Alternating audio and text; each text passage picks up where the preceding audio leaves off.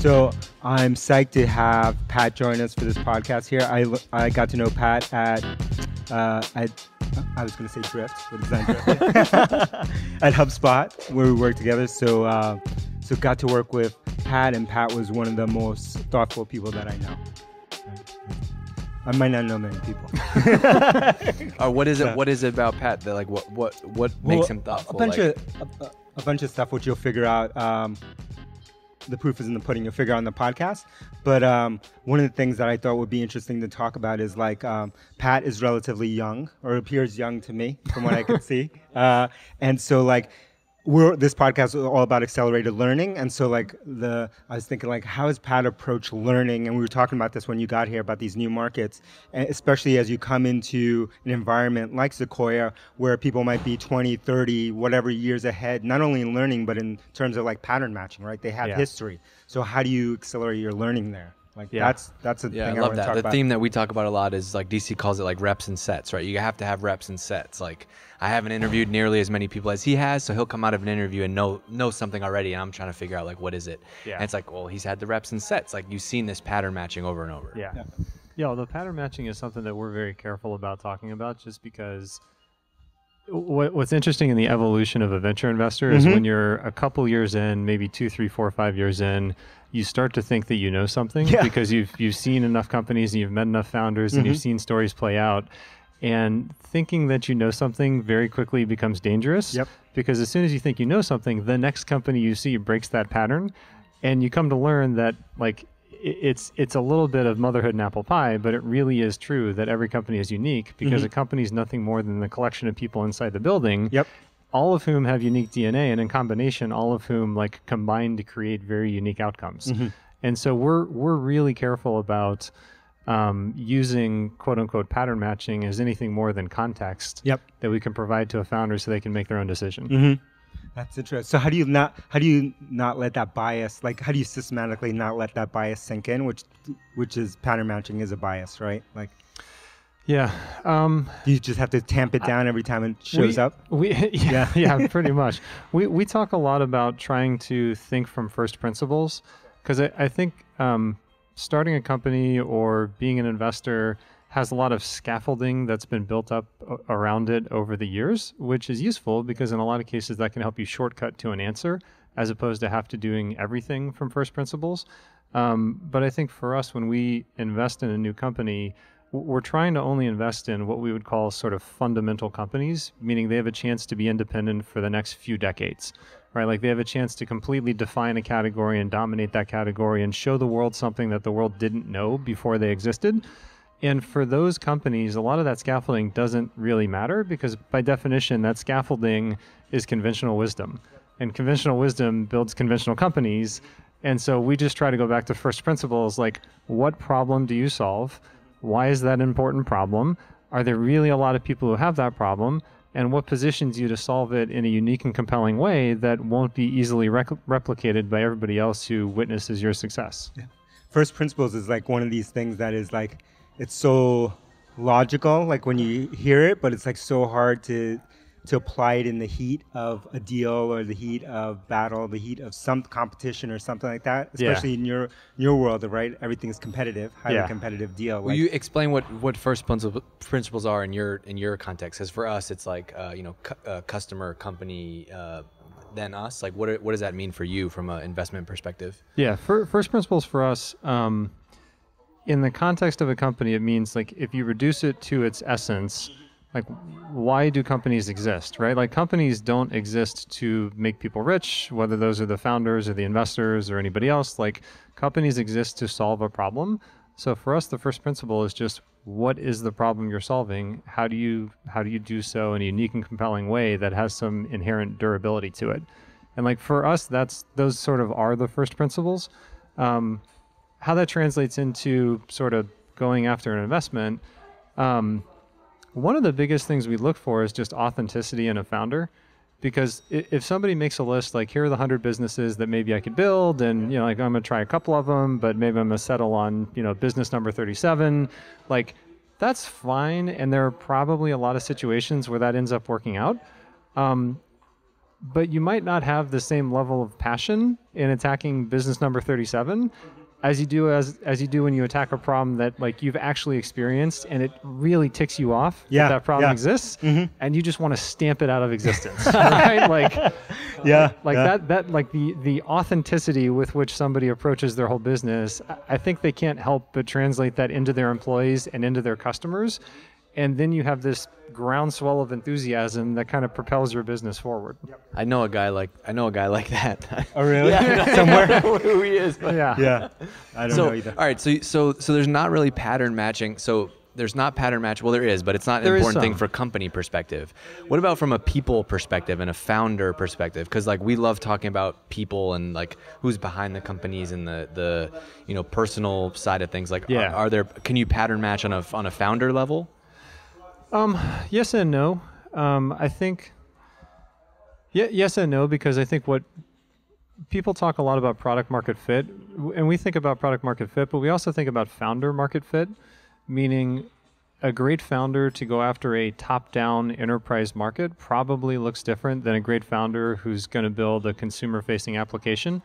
Um, and sometimes there are enterprise markets where that consumer-facing application founder is actually better because you want to have frictionless bottoms-up distribution, not 42 longs, you know, parachuting into the CIO office. and so we, we, we, we, we try to spot people who um, are a fit for the market that they're going after. And then I think we'd layer on top of that um, outlier characteristics, which generally has some component of drive and ambition associated with it. Um, and then we try to layer on top of that, I guess I would call it moral compass or mm-hmm. ethics mm-hmm. or cultural sensitivity. Yep. Because if you have somebody who is not intentional about the culture that they're building and the mm-hmm. values that they represent as an organization, there's going to be some point at which Problems. the entropy starts to take over and the organization starts to break. And so we always try to look for that too. That's interesting. Oh. And so, how do you? So you must have a weird problem at Sequoia in that your your funnel is like kind of maybe the biggest funnel or infinite, right? Right. And so, like at the top.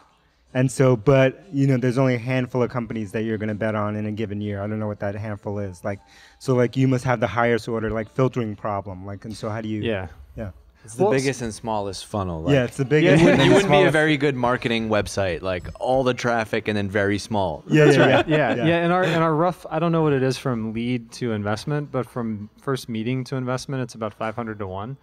Um, It's unreal. to give you a sense. Yeah, yeah. Yeah. And what's really interesting about this, so I joined Sequoia at the beginning of 2007, and I think at the time we had, call it a dozen investors. Yeah.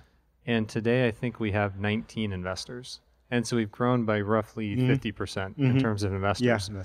Our funnel has probably grown by more than 10x crazy. because over those 10 years, like mm-hmm. Everyone, you know, there's so many companies and exactly, technology and everybody's starting a company, and I think that's a persistent trend. Yeah. So one of the things that we've been grappling with over the last handful of years is this constant need to reinvent our own business, not just in terms of who's inside the building, but Yep. also in terms of how do we operate? Mm-hmm. Like how do we use technology to our advantage Yeah. so that the methods that Don Valentine used in the 1970s and 1980s Yeah. are not the same methods that we're mm-hmm. using today. Like we want to benefit from all of that tribal wisdom, mm-hmm. but we want to also reinvent constantly so that we can deal with that funnel problem. So we actually have we have a team of really talented engineers and data scientists and Who work on Um, your funnel? Who work on who work on automating as much of that as possible. That's from amazing. I, identifying, filtering, coordinating, providing leverage to investors. Like we're, we've we've got we've got so much room to to, to, to run Yep. um, and we feel like we're just in the you know first inning of of sort of um, reinventing our own business with technology, but it's something we think about all the time. So h- how often are they? How often are they surfacing things to you before you've heard uh, of them? Um, that's a good question. Um, a lot of times it's resurfacing, meaning it might be a company that we intersected a couple years ago and didn't get into business with for whatever reason. And they've started to take off, and like we were asleep at the switch. And somebody in our technology organization finds it. Yep. Um, but uh, we've actually made an investment in the last 12 months as a direct result of our data science efforts, where they surfaced something that like we'd heard of, but we Yeah. weren't really keyed into how important it was. Yeah.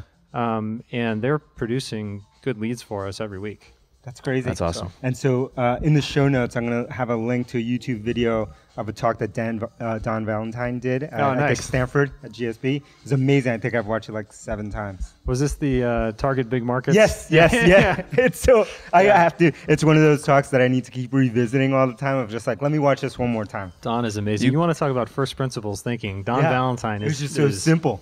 canonical fill in, example fill of first people in who are going to listen and be like, "Who's that?" And Yeah. what was this talk Uh, about? Don Valentine was the founder of Sequoia in Okay. 1972. Yeah.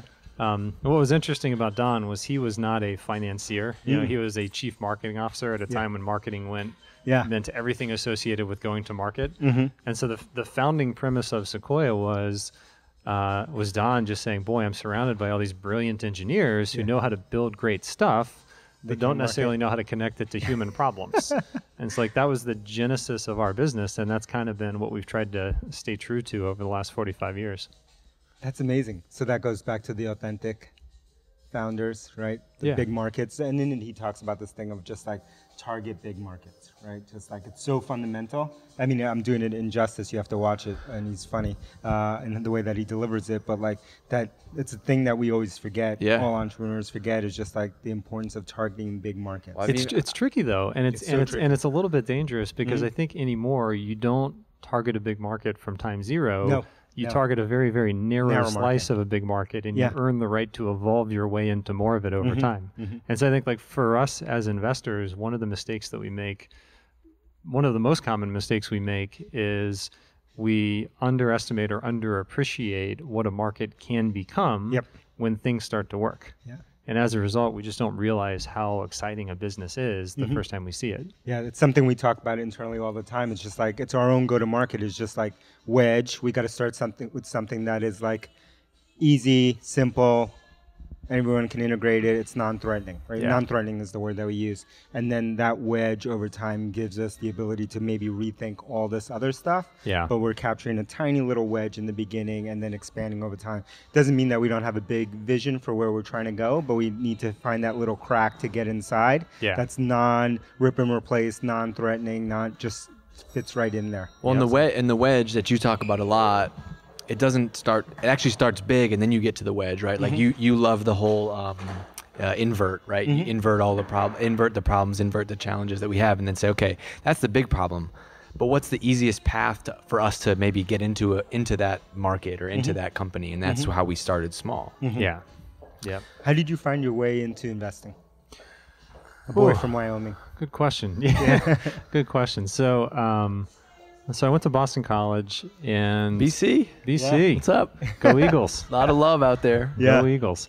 And so while I was at BC, I actually started as a physics major, and I was I started as physics and finance, and the rationale was That's I like weird. math. That's weird. I liked math, and it seemed like business and science were two Yeah. places that you could apply math. yeah, yeah. And um, and as I went on through through school, I ran into physics lab, and it just drove me crazy that like the math Yeah. you could do didn't necessarily work in the lab. Yep. Yeah. And so I so I dropped physics and ended up with uh, finance, econ, and, and math. Mm-hmm. And um, so all the Venn, all the places that math can, the Venn diagram of math. Yeah. Yeah, yeah, yeah. and and so and so I, I went into business. Um, I went into investing right out of college, and Mm. and I guess at the time, like kind of naively thought that math was going to play a big part in it, which it turns out it plays almost no part whatsoever.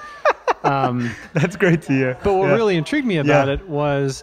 Uh, finance and econ kind of sets you down this path of Mm-hmm. the investment world writ large, whether Yeah. that's banking or working for a mutual fund or a hedge Mm-hmm. fund or whatever the case might be.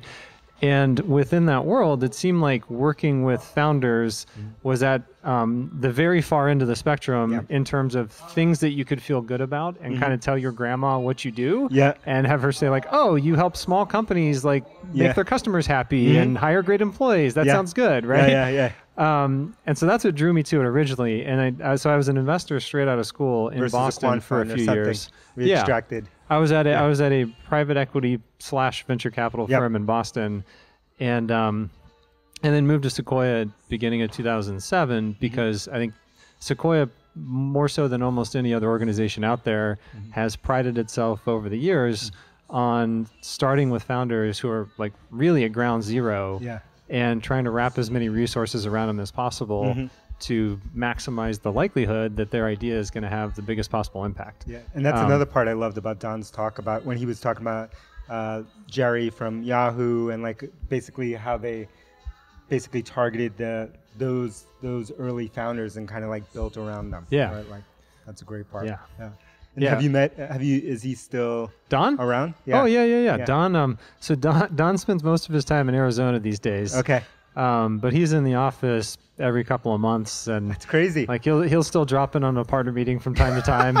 Don, Don, in on you. Don, Don is amazing. I mean, he That's crazy. Still, his he will sit he will sit without saying a word for two or three hours, Mhm.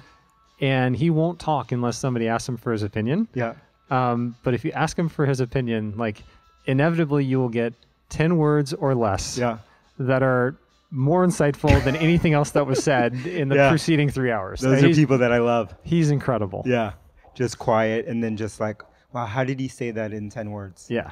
I had a question that I wanted to ask you that I just when you how did you so you, you get this job at Sequoia did did you reach out to like what is the actual process for you to get from Boston yeah, yeah. to Sequoia? People are listening. They want, yeah, yeah. they want to know Yeah. the process. Yeah, they want to know. Well, so um, secret process. Yeah. Yeah, the, the truth matter is I got really, really lucky in a couple of different ways. One was uh, in 2006, we decided that we were going to start amping up our focus on growth stage investments. And so we actually got into that business in 1987, Yeah. but it was kind of a side business for a really long time. Um, in 2006, we looked around and said, well, geez, you know, a lot of these companies that we get into business with at the early stages Mm-hmm. um, start to grow up and then like would prefer to work with us as opposed to Exactly. working with other folks. And also, there are plenty of companies that are started outside of the Bay Area where we're not as good at supporting companies at the very earliest stage Yep. that we'd love to intersect at a growth stage, Mm-hmm. right? So 2006, we started kind of amplifying this focus on the growth stage business, which meant hiring a dedicated team. Yep. And it turned out that the place I worked in Boston was one of the kind of early category defining firms around growth stage investing. Investing. And so I was I was sort of in the right place at the right time in terms of what Sequoia was targeting. Yep. Um, and then and then how I got the job was uh, I think I um, uh, my very first interview was with Doug Leone, who uh, at the time was responsible for the growth business in Yeah. to a bunch of other stuff, and today is responsible for all of Sequoia globally. Yep. And I think I had a I think I had a good breakfast with Doug, and he kind of just So the secret is there. Good yeah, breakfast. Yeah. Doug Doug just kind of ran around, and and I think he. I'm, I'm not convinced that anybody else likes me as much as Yeah, Doug, did, Doug- but he, he kind of paved the way. And so, That's so- amazing. So I, He put a I good got- word in So after I got breakfast. a shot. Yeah. Yeah. That's crazy. I awesome. love that. I love those stories. We all have those stories. Yeah. that Just like random, right? Yeah. I have a similar story of like how I got my. uh it was CRV at the time, but like how we got our first investment, my first company was just like, oh, I think I hired someone. I'm pretty sure I hired someone that this investor was trying to hire, and they chose me over them, and so that's why. That's why. that was it. I think that's it. That's the only Nice. pattern. Which company was this? This was at Compete. I had hired someone. At, I had hired someone away that this investor was trying to lure into one of their companies. He's retired now, and uh, this investor. But I think that was it. Yeah. I can't explain it any other way. Yep. Yeah. That's It's awesome. amazing. It's crazy. So, w- does growth operate separate at Sequoia now? or Very no? very tightly integrated. Very so tightly integrated. so I mentioned we, the model for everyone has been all over the map. Some people are totally separate on growth. Some Yeah. people try to integrate. Some people. Yeah, well, so it's it's very tightly integrated, and I mentioned we have 18 or 19 investors. That's Mm-hmm. Yeah. everybody who does early stage and To- growth to stage growth, investing. yeah. Um, and the reason it's tightly integrated, um, a couple of reasons. One is the spec for both businesses is kind of the same. Like we're looking for companies that have a chance to just define and dominate a category over a really long period of time. And it doesn't matter whether we intersect them when it's a person with an idea or a team of several hundred people that is going to go public in the next 12 months, right? Like anywhere within that range, like the business is the business. We just happen to be intersecting them at different points along that spectrum. Um, the reason we have dedicated teams is the decision criteria for a seed or series A is very different than the decision for a growth stage investment when there are, there are a bunch of unit economics and Yep. a bunch of financials yeah. Mm-hmm. and you know valuation and all that stuff. And so the decisions are a little bit different, but what we look for in the company is the same. Mm-hmm. And then also a lot of the company building itself is the same. Yep.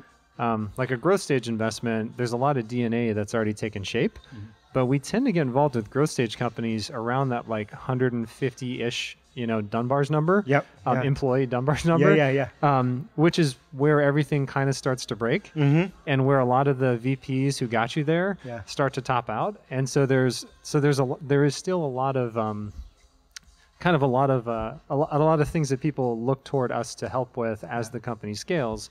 And the fact that we do a lot of that in our early stage business um, uh, really helps with the growth stage business in terms of just sharing sharing some of those tricks of the Yeah. trade. It's funny because we've talked about that in the in past episodes of like there are these magic breaking point numbers in Yeah. companies that uh, it's hard to unless you experience them. For some reason, it's hard to explain. You cannot explain why these happen, but they are the magic like breaking points of Yeah. every company that I've been at that they seem to start to break at the same point we, in terms we, of uh, headcount. We had an awesome interview with Patty McCord, who ran Oh, yeah. uh, you know, Netflix, Netflix. Yeah, she- uh, yeah, yeah. yesterday. She was, and she had an amazing thing that, that has I can't stop thinking about it. Is um, we asked her like, okay, we're right around 50, you know, employees now. You know, by the time you talk to us next, we'll be 100, 200 plus. Like, what advice would you give? And her advice was like, don't get caught up in nostalgia. Nostalgia can, can be the number one thing that'll that'll kill you, and that is like employees that were there early being like, "Oh, I wish it was like how it used to be." And Or so that's like a, people. that's a really Yeah. interesting topic that's like very top of mind for us right now. I think. Yeah, yeah. Why do you think those magic numbers exist? Uh, that's a good question. I think I'm the- hoping for an answer because I don't have one. I don't have one. I don't know why they. I just say they do. I think uh, like 150 in particular. Um, for, for anybody who's not familiar with Dunbar's number, Yep. right? Like it's basically the number of reasonably close human connections any given individual is capable of having and Mhm. keeping track of. Mm-hmm. And I think that applies to a company in the sense that 150 employees is right around where that like inherent inherent ambient knowledge of what's happening. Yeah. begins to dissipate Yeah. and it's overwhelmed by the coordination costs Mm-hmm. of keeping 150 people on the same page. And so I think w- when there are 10 people in a room Mhm. And you know you can hear everything that's happening, um, it's very easy to know that there's a clear and co- not very easy. I shouldn't trivialize it. It's still hard. It's Yeah. just comparatively easier Yeah. to have a shared vision Mm-hmm. about where the company's headed and a shared understanding of how you're going to get there at least over the next you know weeks or months Mm-hmm. or quarters um, and 150 employees like you start to not know everybody's name Mhm. like Mhm. The employees who've joined recently might have a totally different idea of why the company exists Yep. and where you're hoping to get Mhm. and the only way you can solve that is through systems and Mhm. culture. And so it's the point at which like having actual management systems in place. Yep. And I mean systems in the sense of technology, but also in the sense of a regular cadence, Mhm. you know, around meetings and, and whatnot. Um, and then culture in the sense that at that point, if you're not intentional about your culture, it starts to get away from you. Yep. That's funny. Patty yesterday said like uh, she asked like, "Are you at the? Are you still at the stand on the table phase where you can stand up on the top of a table and address everyone in the company? Or you past the stand on the table phase, which is very a good much way to this. put it. And it's definitely why we're spending. A, I'm spending a lot of time in Elias, co-founder, on starting to document a bunch of this stuff and getting figuring out how we do onboarding and all that kind of stuff because come 12 months we'll be hitting that dunbar number or past that number right? And so we need to be ready now of how we're going to train people. And and, I- even now when we're having like seven people starting at a time and that kind of thing. Well, and I think the thing that I think that you guys, the two of you, are, are obsessed with is like, just because maybe something marketing related is in my head or something sales related is in Armin's head or wherever, like that doesn't do anybody any good for the next wave of the company, right? Mm-hmm. Unless it's on paper and it's documented and it's part of an onboarding process. like part of a process, It becomes system. a checklist and the whole like, you know, we're obsessed with the Bill Walsh uh, book, Standard. Uh, you know, how he talks about the standard of performance and yeah. how he ran the 49ers, like. Just having those checklists and having that process up front is such an important thing that Yep. I, you know you guys are obsessed with that and now it's like how do we actually you know put that into play mm-hmm. Yeah. and so since you look at so many companies what would be your advice to budding young budding entrepreneurs about how to think about their companies About how to think about their company just in general. Yeah, yeah, I know. That's like a. yeah, I don't know if that's there. Uh, in the in today's context, like how they should. So let's take a SaaS company for example. Not Yeah. a not a you know scientific risk kind of company, but like just Yeah. like a market risk company, like like someone in SaaS or some Yeah, kind of software. Like how would you be thinking about that category now, or that type of company now versus five years ago? Like what are the risks? Um, good question. So, I guess broadly speaking, and then maybe I'll zoom in on SaaS a little bit. Mm-hmm. Um, broadly speaking, like we've been in the same basic technology cycle since 2001 now. Yep.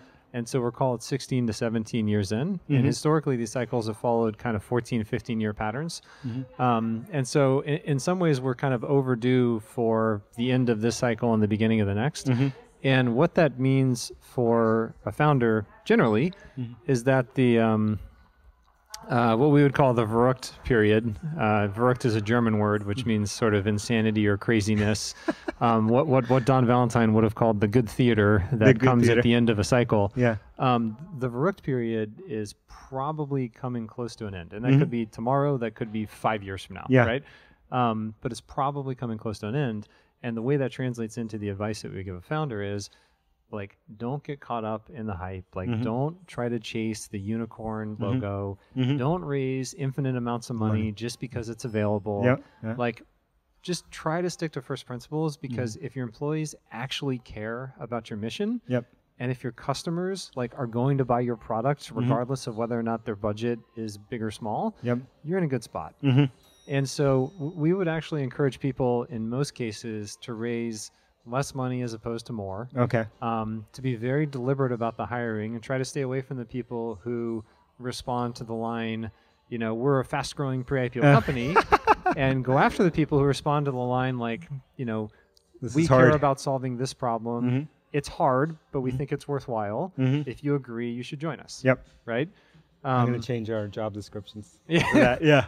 Yeah. Um, and then I think for SaaS specifically, that's um, that's also true because five years ago there was still a reasonably uh, decent amount of white space Yes. in SaaS, just in terms of like buying centers within the enterprise That that, were underserved, Mhm. um, or SMBs for that matter that were underserved. Mhm. And I think today there's less white space, and so the companies that are cracking through are the companies that have come up with something that's truly a superior value proposition. Either Mhm. it's more usable, or it's more pervasive, or it's more intelligent, or Mhm. whatever the case might be.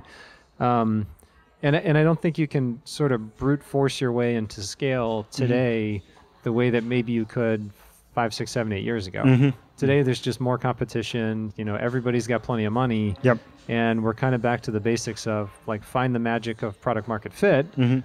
and and kind of iterate from there. Mm. Those are wise words Wise for you words. entrepreneurs out well, there. eas- easier said than done. I know. Everything is easier said than done. That is true. That is awesome. We got to ask Pat about learning before we go. Okay. Do you read a lot?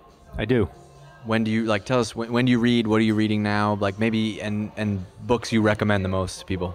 Great question. Um, when do I read and what am I reading now? Well, anytime I travel, I end up getting a lot of good reading in. Mhm. Um, I uh, I do mostly read books as opposed to reading you know newsletters and that Yes. sort of thing. Um, Good man. Just because I find I- I'll scan a bunch of different newsletters to try to get an, an awareness of what's happening in the world, but I get a lot more out of spending an hour reading one thing and really understanding it than I do out of snacking on 15 different things, you know, over the same period of time. Um, Love that.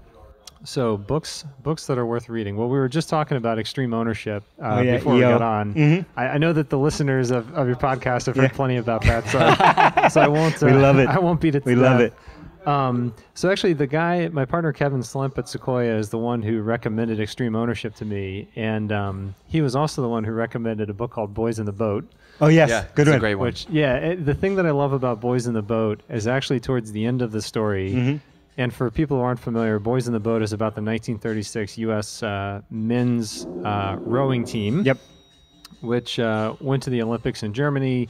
This was a team consisting of a bunch of people from the middle of nowhere Yep. who really like had no right to be Yeah. in the Olympics, Mhm. but they just fought like heck Yeah. and came together in the toughest of moments to uh, you know to earn their way there. But the best part of the book is towards the end where they're reflecting on what happened in the 1936 Olympics. Um, and at this point, the guys are 50, 60 Yeah. years old, and they're just they do reunions every now and then. And at one of these reunions, they realized that for the eight men in the boat, every single one of them thought that he was the weakest link, That's awesome. and every single one of them Mhm. fought like heck Mhm. because he didn't want to let the other guys down. That's awesome. And I, I think that is just the the ultimate statement Yeah. of high performance culture Mhm. And what we love to see in our own partnership, Yeah. or in the companies that we're getting into business Mm. with. Chills. You get goosebumps. That's amazing. That's amazing. Thanks, Pat, for joining us. Thank you, Before guys. you leave, uh, hit up Pat on social media. Yeah. We'll have links to him on social media. Yeah. Follow him. Do you tweet? Yeah. You do? I he has a tweeter. occasionally. He's He a has tweeter. Yeah, I he's a tweet every couple yeah, months. Yeah, yeah. and um, check out Sequoia. I bet you know them already. and leave us a six star review. Apple will only allow us five stars so far, Fun- but we're so, going so six tonight, stars. So tonight we're going out to dinner with a bunch of uh, uh, people that we want to be customers and customers. One of them just replied to me on the way down here, and she said, "Can't wait for dinner tonight. Six stars only." That's it. Six stars only. And in the in your review, leave a little story about Pat or a tip for Pat or a book recommendation Yeah. for Pat, and we'll make sure he gets it. Thanks. Love it. Thank Thanks, you, Pat. guys. Awesome.